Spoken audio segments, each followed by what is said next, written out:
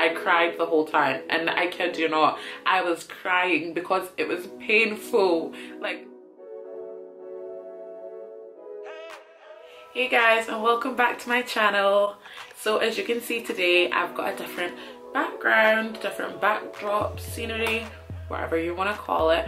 But the reason is because some of you may not know already and some of you may know but I recently moved to Lisbon so I'm in Portugal.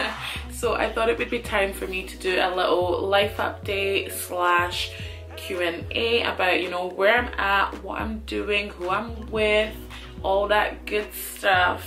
But yeah quick disclaimer I actually filmed this video yesterday but like the quality came out good and stuff but the sound was just rubbish. I'll put in a clip so that you guys can hear. So i guess my title is junior account manager in the digital marketing industry. Here. So i was in two minds because i was like right do i just go with it and then just like leave it as it is and the sound's just a bit because uh, the sound would be good for some parts and then it would go down for other parts so it was just absolutely diabolical. But then the other part me was like okay maybe I just keep like the video like footage and then just do a voiceover over like what I'm saying but then that wouldn't really fit because you know my face will be saying one thing and then my voice is like it's not in time and I'd feel like I'd rather just put something out there that's good quality quality because if I had put that out I wouldn't have been happy with it so I just thought let me do it again and more or less say what I said in yesterday's video so let's get right to it. I think it was like a week ago on Instagram I just put one of those polls up and I said um, you know, send me your questions. I'm gonna film a Q&A. So I've got quite a few questions. Luckily for you guys, I didn't get an awful lot of questions, so I'm gonna be able to answer every single one. So shout out to my friends who sent questions in because y'all are the plug. so first one I got is, what are you doing there? How long are you there for? What's the next plan or destination and can I come? First of all, Sham, of course you can come. We need a girls trip plan. That needs to be on the list next. So we'll say that's next. So the first part, what are you doing there? So I'm here in Lisbon and I'm doing a digital marketing internship. And um, so my actual job role is a junior account manager and basically I work for a digital marketing agency. So I'm doing like the social media side of things. I'm working with different clients doing their marketing campaigns. You know, we activate ads on Facebook, Instagram, online as well. We do things like creating their ads for them. We're doing like boring stuff as well, like writing the reports, you know, the analytics. But I'm just doing that sort of thing. So it's it's like the type of job I do want to do in the future and it was good I guess that I've got I've got this internship so I can get like my foot in the right door. Um how long are you there for? So it's a three month three month internship. I came to Lisbon back in September and then I'll be leaving next month in December. So it's just three months, really short, but just the right amount of time. And what's the next plan or destination? Um, so hopefully the next plan is to now secure a full-time adult grown-up job. So I have started looking around and I'm hoping to find something preferably back in the UK and um, maybe in Scotland but also maybe even in England. So again I am looking for like digital marketing, social media advertising, that kind of thing. So if anybody knows anyone who's looking for a new employee, you know, send them my way because I'm not secured anything. So I'm a free agent. So if you wanna, if you wanna holler at me, send them my deets, do that do that. Help a sister out because you know i need some coins i need some p i want to plan holidays for next year. And to do that i need money so yeah. So next destination so i guess next destination is back in scotland but i'm hoping to get i mean i don't know if i would want to work abroad again. Well, i don't know about portugal maybe other places but we'll see what's in store. What do you miss the most about uni? How are you finding adulting? so what I miss the most about uni is probably all the free time that I had.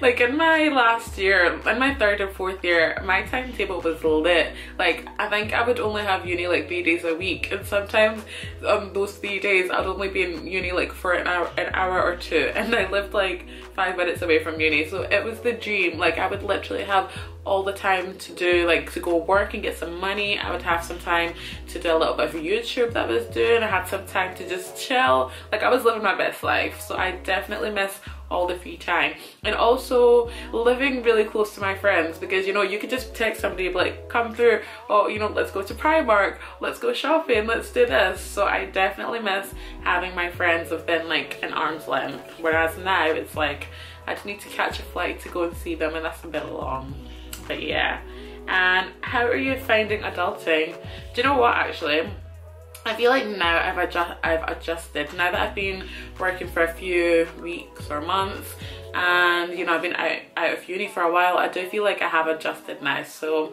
I'm, I'm enjoying this adulting thing. I wish I had more money, I won't lie. But then I guess that will come once I have secured a job. So, but yeah, it's not going too bad. Would you consider moving to Portugal? Um, I don't think so. I don't think so. It's been good fun uh, for like a short time. I actually came back, no, I came on holiday to Portugal a few weeks ago. I didn't come to Lisbon. I was in like the south of Portugal, the Algarve and stuff like that. And then now I've came to Lisbon, so I've seen like a different part of Portugal and it is nice. I definitely, definitely would come back for a holiday. But um, living here, probably not. I feel like I'm just so used to the UK now. The thing is, when I was in the UK, the thing is, the grass always seems greener on the other side and I've definitely learned that like you know when I was in the UK I'd be like oh it must be so nice to live abroad and like away but now that I've come to live abroad in another country I'm realizing we had it good back in the UK like for example certain things here are just so expensive things like um, laundry soap detergents, washing soap, cleaning products, things that you would find for like 59p, one pound in Poundland and Home Bargains in B&M. They don't have that here. They don't have that here. So if you even want things like painkillers, those three for a pound, you, can't get that. Painkillers are like seven seven euros. I remember um I was with my work colleague and he was getting sick, so we had to go to the the pharmacy to get some some strepsils. So you know the UK strepsils are like one pound, maybe two pounds if you go to the, I don't know, like Boots or something. Here there was seven euros and I was like, Lord Jesus, please do not let me get sick in this country because I will not afford, I will not afford to get sick. Like I, I cannot afford to be buying these products. So I definitely, like I definitely appreciate all those things back in the UK. So considering just things like that, the expense, is it the expense of living? I think so. I just I don't think I would want to stay in Portugal long term. And also just speaking to other people you know I've heard things like maybe the pay the average pay just isn't as good as like maybe what you would get for the same job in the UK or like in another country. So I just don't think it's for me. Another question is most challenging. So yeah it just says most challenging. So the most challenging thing about being here I would say one thing was that was challenging was this one week when we ran out of hot water right? So the thing is here in my flat we use gas to heat up the water. So our gas the thing is once the gas is done you have to call the company and they'll deliver like a gas canister that same day or the next day. But ours finished and we were calling up the company and for some reason they couldn't deliver. And I think it was because nobody was in the house because the people I live with we all work every day Monday to Friday 9 till 6 so nobody is ever in the house during the day. And the company only delivers during the day. They don't deliver and only during the week as well. They don't deliver at the weekend. So we just kept like missing them or you know nothing was getting through. So this one week yeah no actually it was like two weeks for these two weeks you guys we had no hot water. Like when it came to washing dishes i'd have to get a pot boil the water because we also don't have a kettle so i'd have to boil the water on the stove which took about i don't know 15 minutes and then rinse the dishes with this warm water but boy when it came to taking showers like the first time it happened because i think the water finished as i was in the shower so I, the shower started nice and hot and then it started getting colder and colder and i'm like nah this is not right so i wrapped up and i was done and I'm like, okay, it's cool. We'll get the next gas delivered tomorrow. Tomorrow came, I hop in the shower and it was freezing. And I'm like, wait a minute. And this was in October, so it, it was starting to get cold. but I'm like, nah, this is not happening. But I was in a rush because it was Sunday morning and I was going to church. So I was like, right, I'll just take my cold shower and keep it moving. It's not the worst thing in the world. Monday came and I'm thinking, right, surely like today we'll get hot water or we'll get, we'll get yeah, like it'll be fine again. So I was like, this is my last cold shower. You know, I have to shower before work. I wasn't gonna go without showering, so I took my cold shower. And I'm like, yes, water's coming back today. I get home, there's still no hot water. You guys, I had to start boiling water in the pan and the pots as well to fill up my bucket so that I could go get a hot bath because I was done with those cold showers. I'm not gonna lie, the first, I think the first few cold showers I had, I cried the whole time. And I kid you not, I was crying because it was painful. Like that that shit hurt. Like my body was aching. I've never cried so much in my life. That that week was brutal. No, that two weeks was brutal. Eventually we just called the landlord and somehow he got gas delivered that evening. So I don't know why we didn't do that sooner. But anyway, that was really challenging. I think that was definitely the lowest point of being here in Portugal. That was brutal, mate. Now that you're a working woman, how do you balance work and social life? Um, how do I balance it? Probably not the best to be honest. um, so like I work every day from, my company's quite flexible, so I work every day from like 10 until about six, half six, sometimes seven. It, it depends on the day. But um, usually when I get home, I'm just so tired. Like I don't even want to talk to anybody. I don't want to. I barely even want to talk to my flatmates. Like I literally just want to go home, have my food, and then go to sleep. So during the week, I don't see my friends too often because I just I don't have time for it. I'm just drained and exhausted. Whereas for some of them, you know, some of them work like 10 until 2 or some of them work maybe one Monday, Tuesday, Wednesday or some of some of them work like 7 till 3. So they do have a time later on in the day and, and the evening so they can afford to do stuff. But for me, I'm just drained and exhausted and I can't be bothered. But at the weekend, I do make up for it. So I will make sure that I do see my friends at least, you know, Saturday or Sunday, sometimes even both but I try not to like shy away and just keep to myself all the time. Like even sometimes I know it can seem draining to be like, oh, let me go out with them. But once you're there, like it's always a good time. So I always, I always do try and make effort to see them during the day, during like the weekend. Would you recommend working abroad? Um, do you know what? Yes, I would. I feel like it's been a good experience. Um, I'll once I finish like this internship and move back home, I probably will do another like like review my slash my experience of working abroad and film that for you guys just because you know I don't want to say too much about the job right now um because you know I still work there. So I would rather wait till I was done and then really really tell y'all how it is.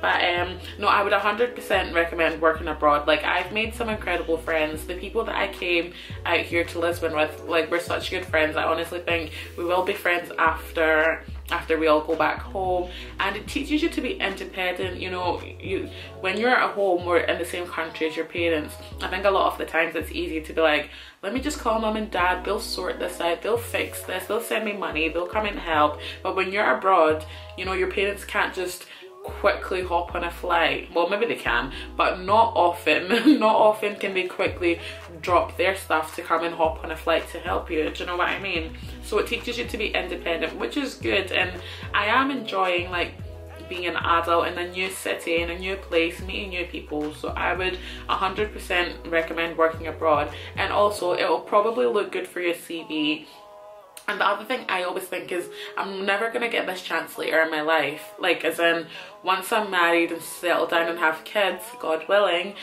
I'm not gonna be able to just pick up and be like, I want to go to Lisbon for three months. Do you know? Do you know what I mean? If I've got a husband and children, I can't just leave them. You know, I would have to like consider all the finances and you know schools and all that other important stuff. So now, when I'm single and young and you know I can be selfish, now is the time to just take those opportunities and go. So I would 100% recommend working abroad. And also do your research because there's so many different opportunities that you can go abroad with, such as you can go abroad to study, you can go abroad to get work experience, you can go abroad to actually work, you can go abroad just to even travel. But I will leave the link in the description box for the company that I went with because they provided so much for me. Um, you know, they found the job for me. They provided my accommodation. They sorted out the flights. They give me mon money monthly as well. So they've really taken care of me and the people like the you know like the coordinator coordinators they have been really helpful. So i will leave the link below so that you guys can check that out because they have so many other options. It's not just lisbon that you can go to. You can also go to seville in spain. You can go to even dublin if you want something close to home. And actually it's funny funny because seville was actually my top choice but somehow i ended up in lisbon. So look at god look at god Three tips you would give someone considering working abroad. So this might tie in a little bit with that last question I was saying. But first thing is do your research. And um, like I said, there are so many companies out there who offer opportunities to go to go abroad to study to work just to live. So do your research and find the right company. You can find companies who will provide your flights accommodation give you money so you're not having to go too much out of your own pocket to be going abroad. Um, the second thing I would say is find a job that you like. Don't just don't just jump at the chance. If you just see abroad don't just be like i'll take that one. Look for something that you actually would enjoy because chances are if you do end up going abroad, you're gonna be there for a certain amount of time, most likely at least a month at the minimum. So if you're doing some horrible job that you don't enjoy, that one month is gonna be the longest month of your life. So find something that you really enjoy. And like I said, there are so many jobs out there, so many opportunities, so many just so many different things so you can definitely find something that is suitable for you something that is right up your street so do your research um the third tip I would give someone is save, save, save. Take have a good amount of money saved up because depending on what country you go to things aren't always going to be as cheap as the UK you know? Some countries don't have home bargains. B&M Poundland all my faves they don't have. So uh, I thought I was recording but turns out I wasn't oh this always happens to me. Right so the battery finished and so I had to change it and put turn the camera off turn it back on and then I started talking and I thought it was recording. I wasn't even recording.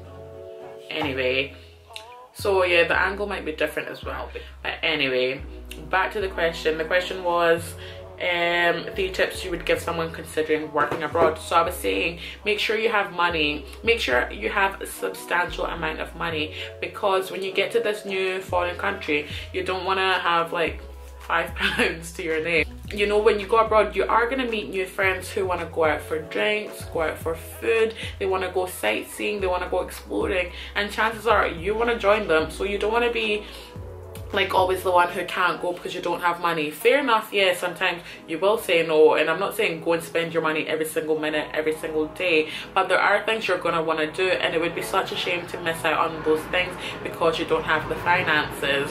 So i would definitely re recommend saying if you're going to be working abroad in the next few months and you know it's coming up get yourself a job right now whether it be a part-time job or if you do have savings save them and get some money because you'll thank yourself later you don't want to miss out on those experiences and bonding with your new friends because you couldn't go. So i definitely recommend that. So i thought it would be so i thought